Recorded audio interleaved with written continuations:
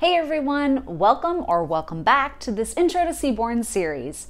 I'm Kimberly Fessel, and in this video, we're talking about the joint plot.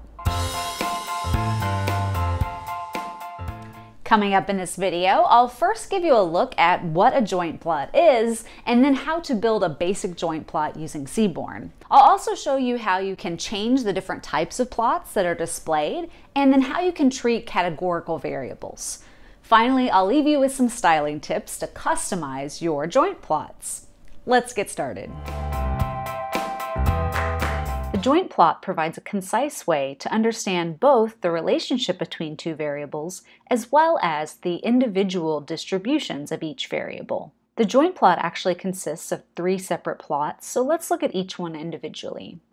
In the middle figure, what we'll see is that we have a relationship plot for how y and x are related.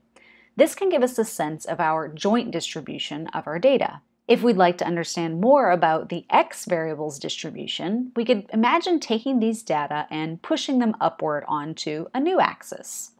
Then we're able to imagine binning these data up into a histogram. This histogram gives us a sense of what the x distribution looks like. But of course, we could also do the same thing by taking the data and pushing it over to the right to understand more about the y distribution. These two plots give us a sense of what the marginal distributions look like for both x and y. Combining all three plots together, we form the Seaborn joint plot. So let's go ahead and take a look at the Seaborn code. By the way, all of this code is available on my GitHub page. So I'll just go ahead and import the Seaborn library as well as the PyPlot module, and I did want to let you know if you've been following along with this series, I did go ahead and update my Seaborn and Matplotlib lib recently. So now I'm working with Seaborn version 0.11.0, and I'm really doing that just to showcase all of the new things that you can do with the joint plot. Then I'll go ahead and load in some data from Seaborn. So these data are about geysers, and so each row is just the duration and the waiting time between eruptions of a particular geyser. And it turns out that we have about 270 different rows in this data frame. I'll go ahead and set my Seaborn style to be dark grid, and we're ready to build our first joint plot. To do that, we just reference the Seaborn library and call up the joint plot. And now we just need to pass in what will be our x variable and what will be our y variable. So let's go ahead and put the geyser's waiting time on the x-axis. And the y variable here will be the geyser duration. So there we go. It's really as simple as that, just providing an x and y, and now we'll get a Seaborn joint plot. On the x-axis, we have the waiting time, and on the y-axis, we have the duration. And like I was just talking about, we do have a marginal distribution for the waiting time, and then a marginal distribution for the duration. Just one other note on syntax, you can either pass in specific series to the x and y variables, or you could pass in the full data frame itself. So let's try to build a joint plot where we're passing in the names of the columns, so waiting, and y is going to be the duration.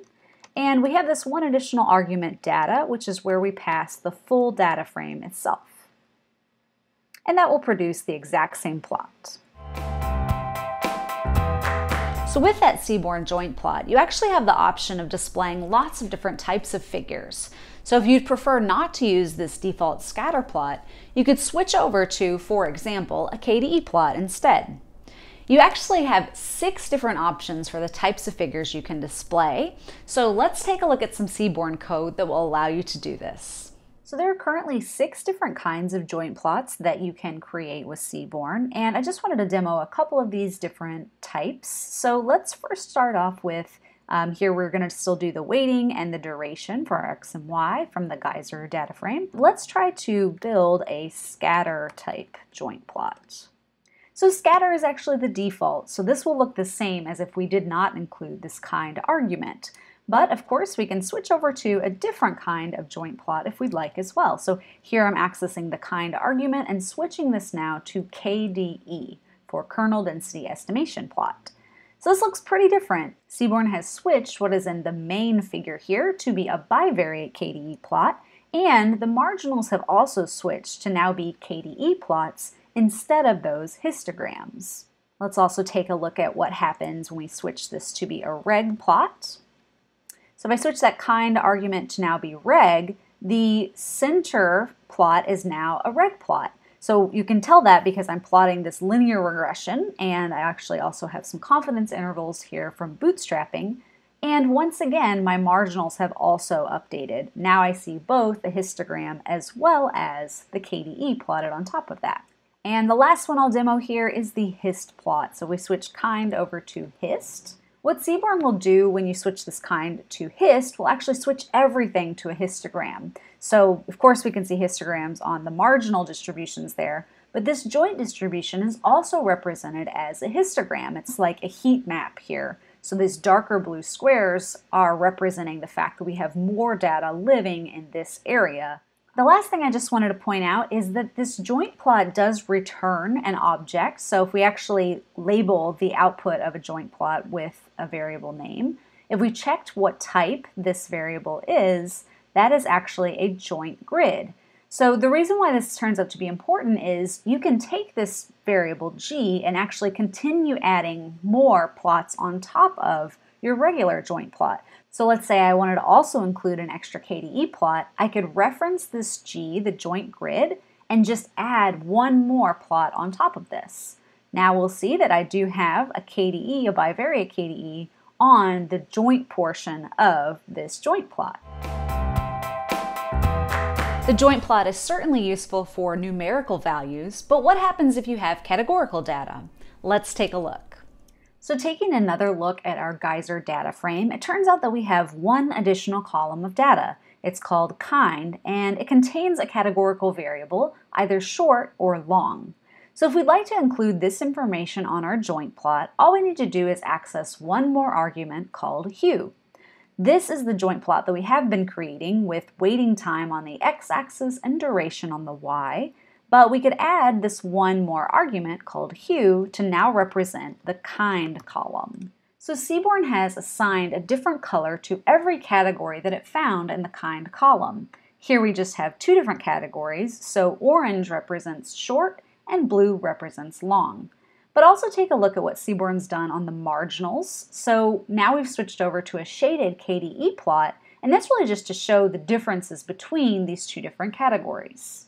If we'd like to switch over to a different type of joint plot, we still have that option. And one thing I just wanted to note here, this kind is because the column in our data frame is called kind. This second kind is actually an argument of the joint plot. Switching over to KDE, we'll still see that we're able to see two different colors, one for short and one for long. We've just drawn a separate bivariate KDE plot for each of those two categories. Now let's take a look at styling that joint plot. There's actually quite a bit of styling we can do for the joint plot, so let's take a look first at changing the color. If we switch this color argument to be, let's say, green, that will actually change the color of all of the figures on our joint plot, both the main figure as well as the two marginals. If we happen to have a hue argument where we're displaying categorical variables, if we want to switch the color now, we actually need to reference a palette because we have more than one color. So let's switch this over to autumn. And so now you'll see that um, we have a different color palette for both of those different categoricals. Um, Seaborn, of course, has more than 100 different palettes that you can choose from. There are also several arguments in the joint plot that will help you control the size and shape of your figures. So first off, um, the joint plot is always going to be a square plot, but you can change this argument height if you'd like to potentially make this whole thing bigger. So I've switched it to 8, meaning 8 inches by 8 inches. We also have the option of controlling this space argument, and right now the default is 0.2, but we could decrease that if we'd like. This will actually just make the marginal distribution closer to the main figure. Of course, if you increase that, that would move those two further apart. And we also have the option of this ratio argument. So the default ratio is 5 to 1. So this is just saying how big will the main figure be compared to the marginals. So let's try to actually decrease that instead. Let's say the ratio is only 2. The plot of the marginal distribution has gotten quite a lot bigger compared to the main figure in the relationship plot. And we can do even more styling, but we just need to keep in mind that there are two different portions to our joint plot. The middle plot is the joint distribution. So if we want to change style about that, we need to access the joint keywords. The outer two plots, however, are our marginal distributions, so we would style those using the marginal keywords. So getting more specific about our styling, let's first start off with those joint keywords. So right now I have the basic joint plot, but if I access the joint keywords, what I'm really doing is just accessing any keywords that I could pass to whatever is being plotted in this middle area. So right now I have a scatter plot. So my keywords here should correspond to keywords that I could pass into a scatter plot. So let's try to actually change the marker type for this scatter plot. Um, I'll switch this over to number five, which as you see are these little triangles pointing to the right. Remember, just these keywords correspond to whatever type of plot I have in the main area right now.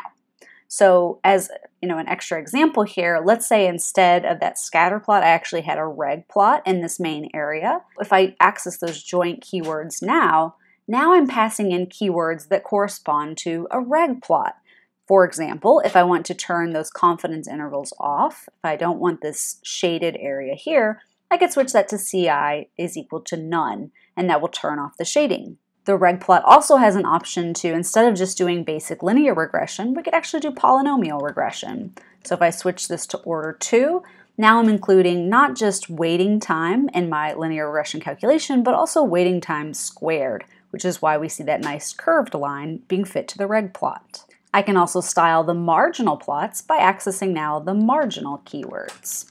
So right now on my marginals, I actually have histograms. So of course I could do things like change the color, switch that over to golden.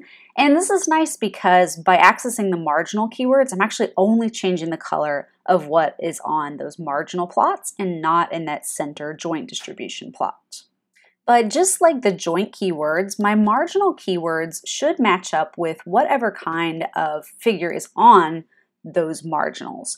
So right now I actually have KDEs instead of a histogram. So the types of keywords that I can pass into this marginal keywords should match up with what I could pass into a KDE plot. For example, I can change the line width. Let's actually increase that to 4.